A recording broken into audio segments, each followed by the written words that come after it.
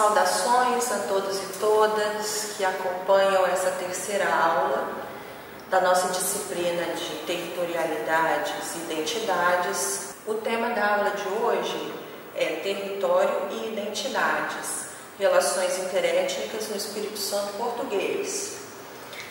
Na aula anterior, na nossa segunda aula, a gente falou um pouco das diferentes formas de apropriação do espaço geográfico é, que compõe o Espírito Santo, né, através das diversas formas socioprodutivas e culturais de trato com a terra, de trato com o meio ambiente, de reprodução da vida material e da vida cultural. Na aula de hoje, o nosso enfoque é para as relações, as diferentes formas de interação étnica, social entre os diferentes grupos que para cá vieram, entre os que já aqui estavam, nomeadamente os nativos indígenas e os colonos, no primeiro momento, colono luso, né? E luso brasileiro, que interagiram, interagiu, o melhor, é, com esses nativos que aqui estavam. Então, nosso objetivo é abordar é, as diferenças, as nuances é, entre essas modalidades de interação étnico-social durante o processo de apropriação ou de ocupação territorial né, que ocorreu aqui, um pouco do qual a gente já falou então na aula anterior. E nessa aula a gente vai focar especialmente nas formas de interação étnico-culturais, que foram desde as formas violentas, passando pelas formas de aculturação, até as formas de colaboração ou cooperação entre esses grupos. Olá pessoal, é, na nossa aula a gente continuou fazendo a abordagem de como se processou o processo de aculturação a partir dos primeiros momentos é, da colonização e a gente vai trabalhar numa perspectiva de longo prazo, de longa duração, entendendo que esse processo de aculturação né, é, ele inclui é, métodos diferenciados, como por exemplo a catequese, mas também inclui é, formas violentas de é, conquistar as populações nativas.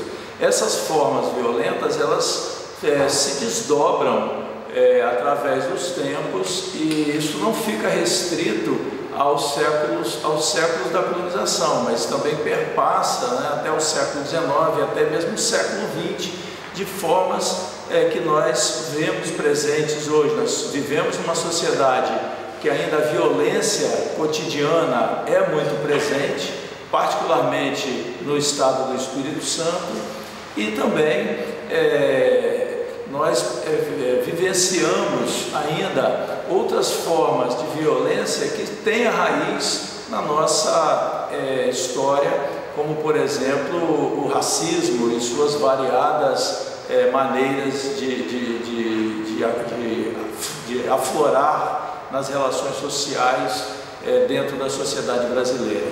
Então, se a gente puder retornar a, a, ao período em que a sociedade brasileira, a partir da colonização, ela, ela começou o processo de miscigenação, a gente vai entender que, primeiro, é, houve uma tentativa de contato e conhecer o nativo, né? e logo depois é, se, to se tomou conhecimento de como viviam esses nativos, qual era a sua capacidade de resistência, qual era a sua capacidade de oferecer trabalho para os colonizadores, né? e como eram também os seus sistemas culturais, né? as suas etnias, e muitas vezes se identificou, por exemplo, grupos que poderiam ser mais, é, digamos assim, facilmente conquistados pela violência ou pelo contato né, com os portugueses e outros que se tornariam inimigos e mesmo é, é, inimizades existentes dentro desses próprios grupos.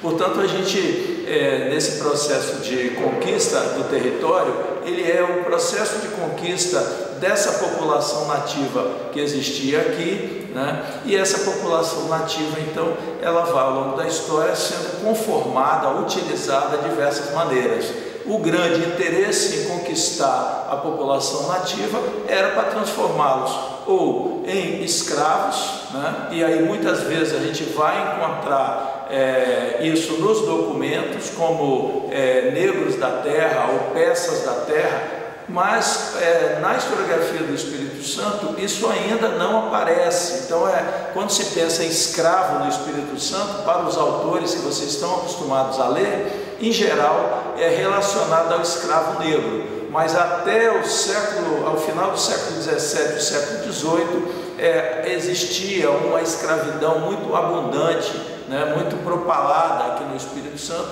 de escravos índios. E a outra forma também de trabalho compulsório, ou seja, um trabalho forçado, era aquele trabalho exercido dentro daquelas reduções, dentro dos aldeamentos para onde os índios eram trazidos, né? Então retirados das suas zonas é, nativas, dos seus, territórios de perambulação, eram trazidos para as aldeias e aí eles eram é, levados a fazer trabalhos forçados, né? seja trabalhos com os jesuítas, seja nas suas próprias aldeias, ou seja trabalhos é, em momentos que eles eram é, levados para outras partes do, do, do território, outras partes em que eles é, é ficavam durante meses prestando os trabalhos é, sem remuneração. Então, essa é uma maneira é, de conquistar essas pessoas.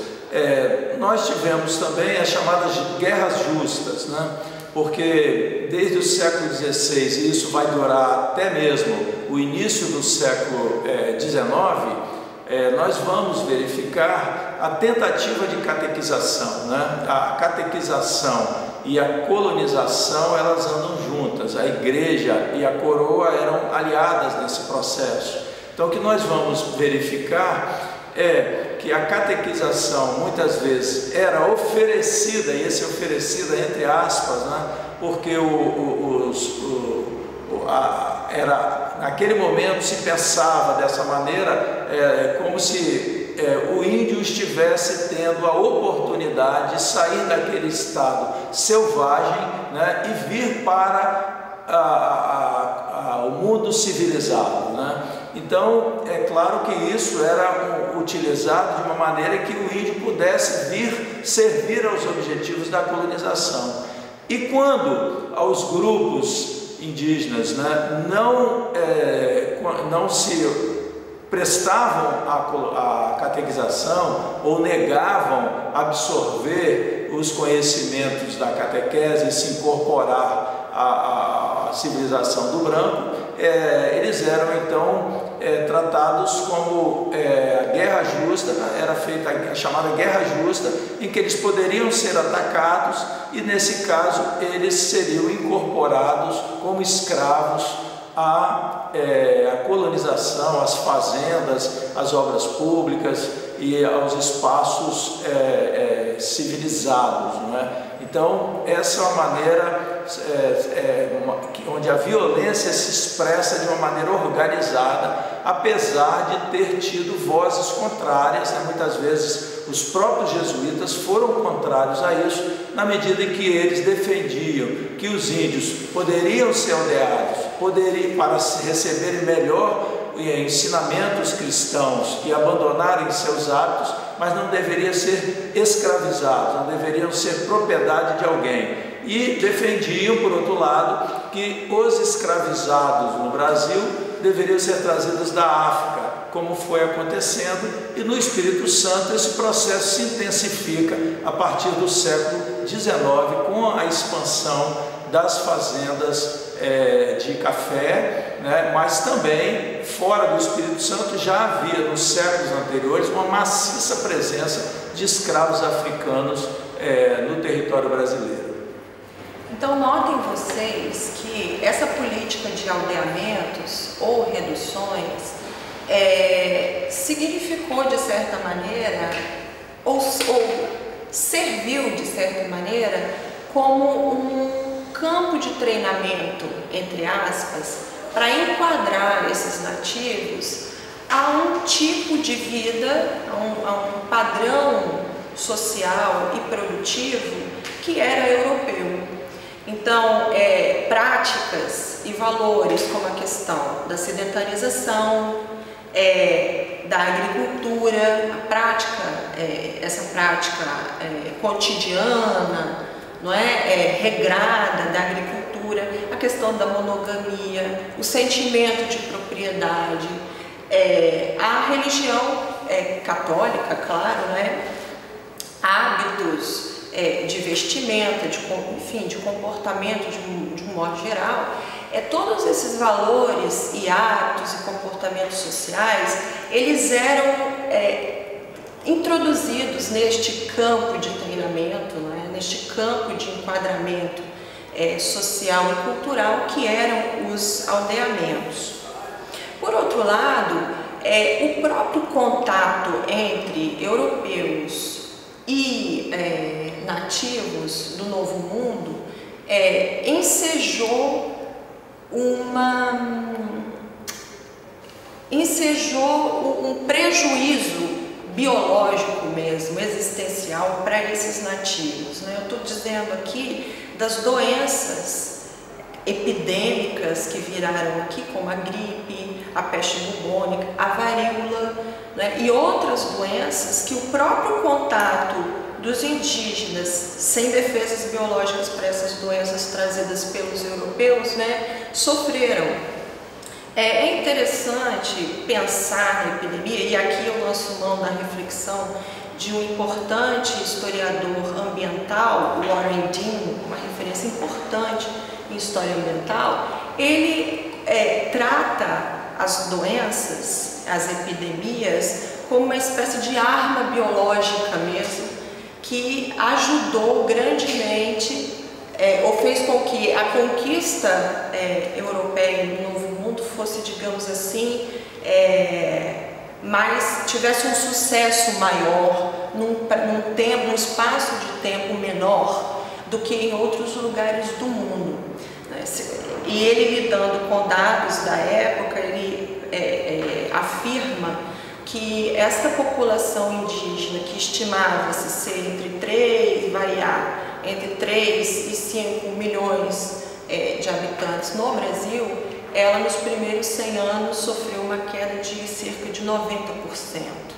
Então, a partir desse dado, o Warren Dean considera essas é, doenças epidêmicas como verdadeira arma biológica, é, contribuindo para o processo de, de colonização.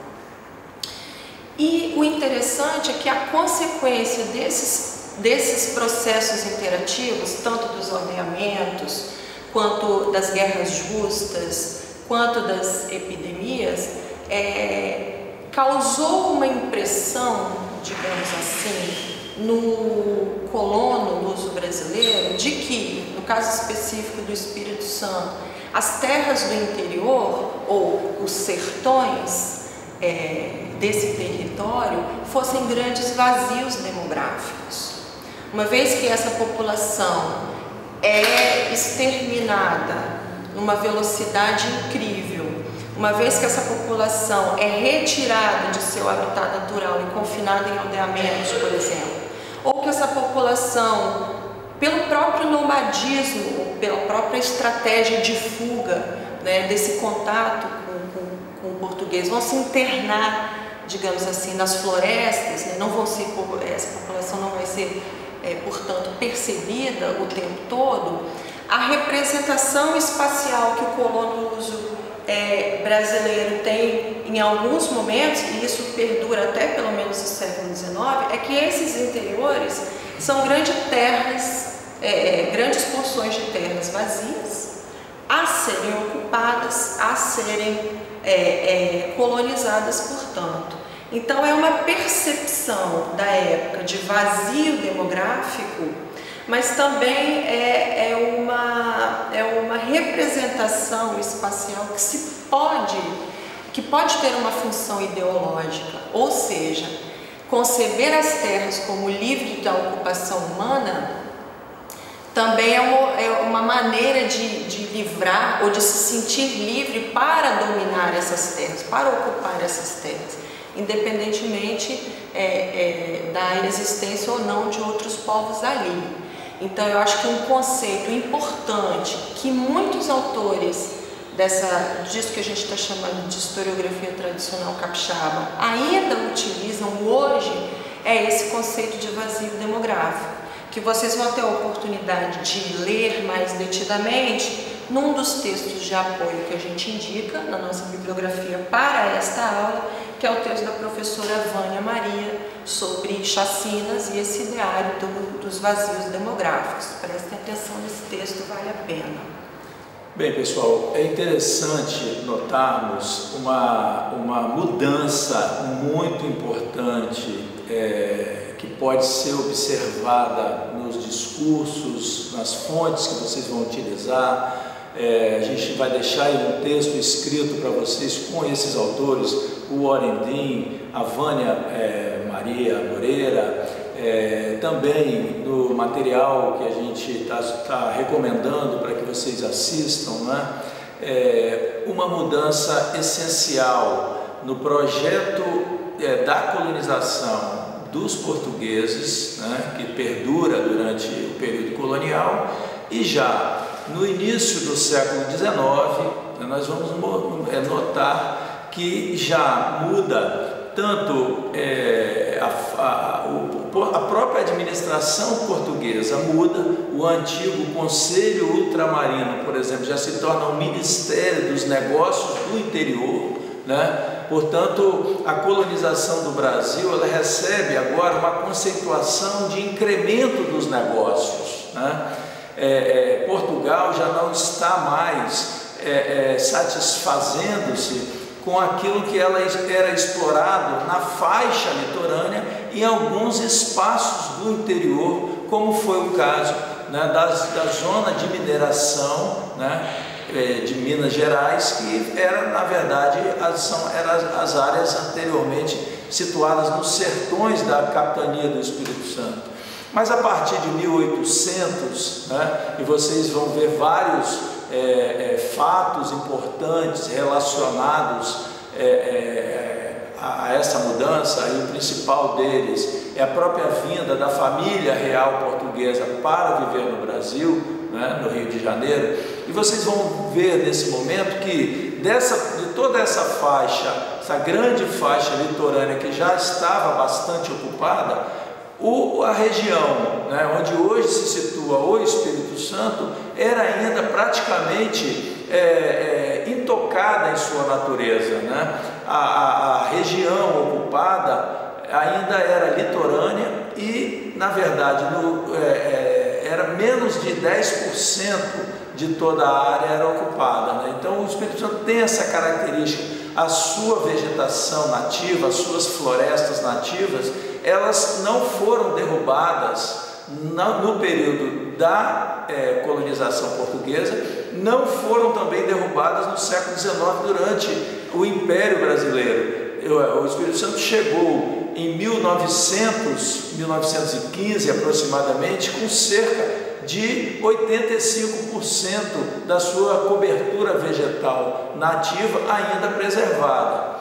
Então, quando a gente ouve falar de vazios demográficos, né, a gente vai entender que é uma conceituação é, criada que vai dar legitimidade a que as terras né, é, que foram, a, que, é, a conquista colonial não conseguiu derrubar as matas, né, não conseguiu transformar em plantation, em plantio de cana, de tabaco, de outros produtos para a economia de exportação, ela passou agora a ser incorporada, né? essas terras passaram a ser, é, ter o seu, o, o seu objetivo de colonização, de ocupação é, mais é, é, privilegiado, mais acelerado, porque havia já a intencionalidade de trazer novos grupos, como foi o caso dos açorianos, né, e mais para o meio do século XIX, começaram a chegar é, grupos é, de, de prussianos, né, de italianos e outros grupos europeus que vieram povoar o Espírito Santo. Né? Bem, é, Se ainda havia um grande território né, nativo, com a presença de ainda população indígena nesses territórios, muitas populações, muitos grupos haviam, é, é, tinham recebido inclusive terras em Sesmarias, terras que eram as terras das aldeias, terras que eram terras que eram, tinham sido é, é, controladas pelos jesuítas, mas que eram, foram sido doadas para os aldeamentos indígenas, né? e além disso também novas terras é, em que tradicionalmente os índios ocupavam. Então essa ideia que a historiografia vai comprar de vazios demográficos, ela serve para legitimar uma expansão, né? uma expansão, por exemplo, é, na região do Rio Doce, né? região toda do Rio Doce, que começou a sua ocupação no início do século XIX, com a presença de um fazendeiro, que era João Francisco Calmon, e a partir daí, nós, é, a, a, essa ocupação ao longo do Rio Doce, ela vai ser objeto da criação de diretorias né, de índios, em que é, eram criados é, os estabelecimentos é, militares, com um diretor ali, com um grupo de, de, de, de soldados, né, em que eles tinham estratégias, por exemplo, para receber grupos de índios trazidos é, das matas, é, começar, é, onde, ali eles poderiam plantar roças de mandioca, de banana, etc. Ali eles poderiam, é, eles recebiam também já, é, dinheiro, já tinham contato com comércio feito através do dinheiro, recebiam, por exemplo, aguardentes, é, ferramentas né, de metal, facões, machados, etc., que mostrariam que a vida do branco, né, a sedentarização e a forma de ocupação de terras do branco em fazendas e principalmente produzindo para exportar, como foi o caso do açúcar e a produção de café que começou logo depois, né, elas precisavam da mão de obra dos índios e tinham que, é, e quando os índios não se incorporassem, eles então, da mesma maneira, eles eram tratados é, é, como inimigos. E aí a guerra justa do Espírito Santo não vai acabar. No restante do Brasil a guerra justa acaba, mas no Espírito Santo a gente vai ver que esse conceito ainda perdura, porque os índios ainda eram tratados com muita violência. Então há uma contradição, porque se havia vazios demográficos, é? como é que a, a, a, aqueles locais onde se começou a implantar fazendas como é que eles sofriam os ataques indígenas que não tinham sido colonizados. Né? Então mostra que havia ainda uma população que não estava, isso já no século XIX, né? até por volta de 1820, 1830, né? ainda haviam grupos que atacavam os, colonos. Né? Só que a partir daí, então, é, a maneira de ocupação do, do, do, do espaço antes tido como vazio demográfico foi na forma da, das, dos núcleos de, de, de colonização, que vocês já devem conhecer, nós temos várias cidades no Espírito Santo que surgiram dessa maneira, né? é o caso de Rio Novo do Sul, é o caso de é, Santa Teresa, Santa Leopoldina, né? várias outros, outras cidades hoje conhecidas como cidades é, é, fundadas por italianos, por alemães, como Santa Isabel, Domingos Martins, né? É, vários outros lugares que foram núcleos de colonização, ou seja, é, como não havia é, pessoas em número suficiente, como não havia brancos em número suficiente, né? brancos aí brasileiros né? e também portugueses, que é, afinal de contas o, o, o o Império Brasileiro né, era um império da família real portuguesa. Então, os, os portugueses também eram muito bem-vindos. E, além de tudo, não havia também uma quantidade de fazendas é, e com mão de obra que pudesse se expandir para finalmente destinar essas terras a uma produção integrada ao nascente Império Brasileiro. Então, a colonização ela vai ser violenta porque ela avança mais uma vez sobre a população indígena e avança sobre o território nativo, e ela também vai ser é, é, violenta no sentido de que ela não vai reconhecer a presença e os direitos né, da própria população mestiça, né, e aí nós estamos falando já de uma presença bastante acentuada de negros e de mestiços, de pessoas pardas, né, é, que, que, vindas do cruzamento do negro, do branco, do índio, né, e que não tiveram acesso às terras. Pelo contrário, né, no Império Brasileiro foi aprovada uma lei chamada Lei de Terras em 1850, que vai dar apenas o direito à posse da terra, o direito da terra, se ela for é, é, obtida por meio da compra ou se comprovar já esse direito anterior durante a colonização. Então, ela vai fechar o acesso à terra as populações empobrecidas, né? ela vai fechar o acesso às terras é, é, para os fazendeiros já estabelecidos ou aqueles imigrantes que viessem no processo oficial de ocupação do território e fundação de fazendas, né? principalmente as fazendas de café. Então, o Espírito Santo no século XIX, o seu território, né, além das culturas de subsistência de uma maneira geral, né, é, o, o, a, a ocupação até então destinada à produção açucareira, ela vai aos poucos, né, essa produção açucareira vai aos poucos sendo alcançada e ultrapassada ao longo de todo o século pela produção de café com mão de obra imigrante branca, mas nós não podemos também é, esquecer que essa mão de obra dos nativos, mestiços, indígenas, etc., que já estão, estão assentados, já vivem no território, também vão continuar se destinando, né? muitos vão a, a, é, acompanhar essa leva da cafeicultura e outros produzem uma cultura de subsistência. A gente está falando da farinha, nós estamos falando do milho, a produção de arroz, de feijão, de carnes, criação de animais, da pesca, do artesanato, diversas formas de trabalho e produção econômica que vão acontecer no espaço do Espírito Santo. Né? E é importante, quando a gente está falando de cultura, né? nós estamos mostrando que esse processo de ocupação étnico, né, com esse viés econômico agora traçado pelo Império, ele é um viés né, que também vai permitir os, o que nós chamamos de trânsitos culturais, de trocas. Né, e quando essas populações é, europeias brancas vêm para cá, eles já encontram aqui um modo de vida totalmente é, consolidado, né?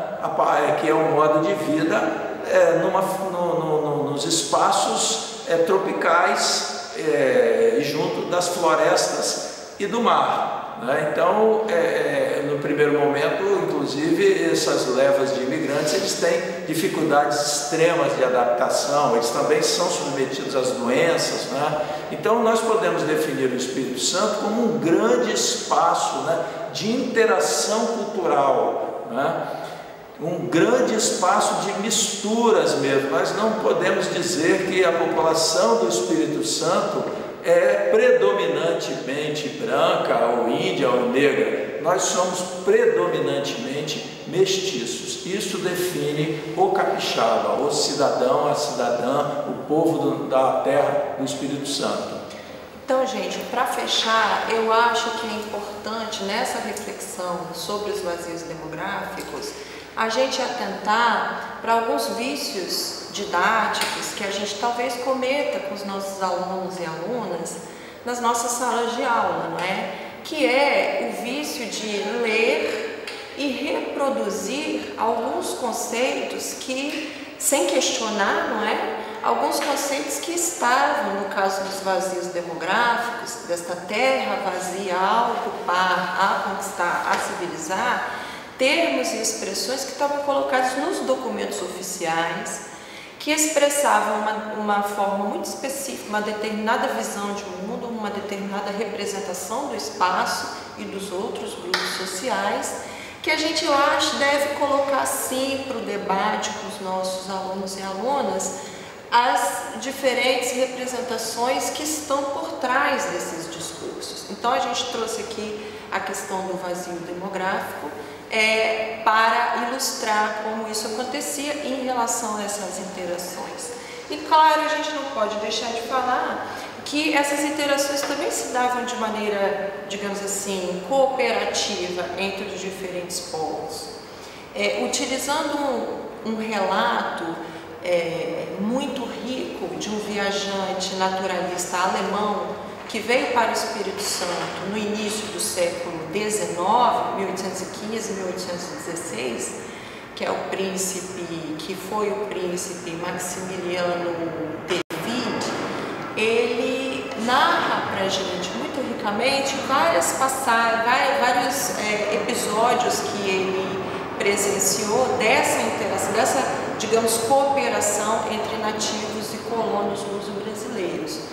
Ou porque, de um lado, porque os, esses colonos é, é, se serviam de uma série de habilidades desses nativos, no caso específico dos, dos índios aimorés, que os portugueses apelidaram de botocudos pelo uso dos adornos, dos botoques né, nos lábios e nas orelhas, esse grupo indígena que era considerado bravio, é, assassinos, que, enfim, eram, eram tidos como antropófagos e todas várias pechas de, de inimigos sanguinários levaram, né?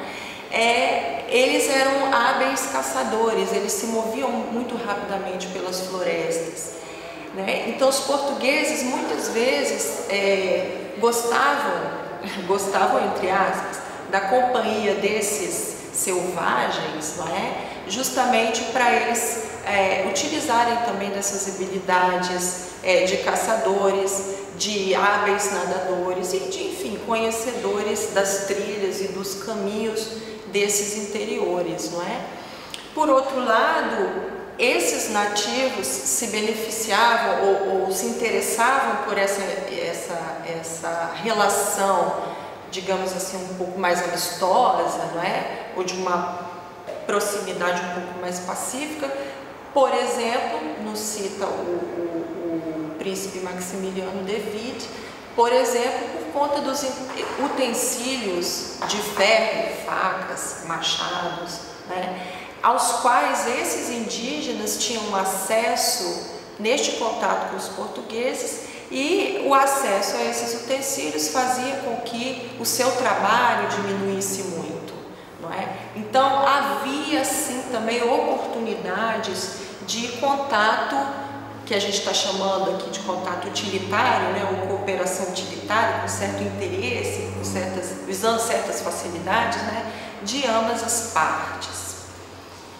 E acho que a gente poderia terminar então recomendando muito, de novo, o professor já fez isso, mas recomendando um pequeno videozinho é, para entender melhor uma, essa forma particular de apropriação e percepção da natureza dos índios Krenak, ou Aimorés, ou Botocudos, na, na denominação dos portugueses, que eles se auto-chamavam, exatamente, né, se autonominavam de Borum.